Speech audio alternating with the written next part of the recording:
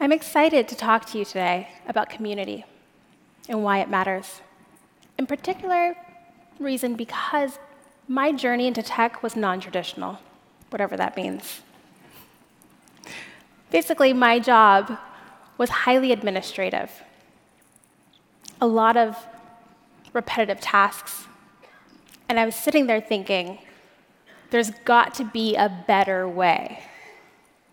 And so I started Googling things, found over, Stack Overflow, and effectively embarrassed myself on the platform.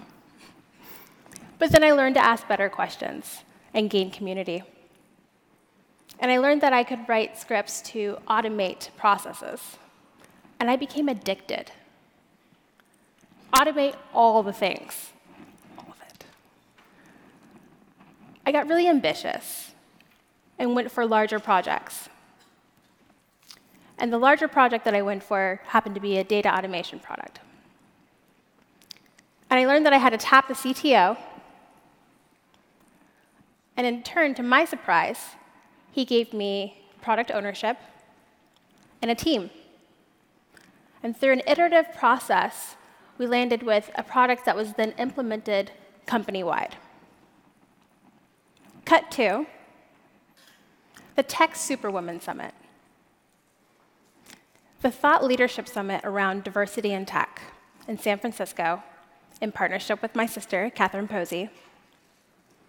For our inaugural summit, I was tasked with developing the community and audience around our summit. So I started at home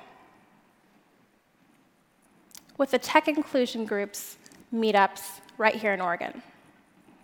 I started showing up, learning about everything that they were about, learning about their needs. Started bringing gluten free vegan pizza, which is a requirement in Portland. But I started making these honest investments in the community. And in turn, they started investing in me.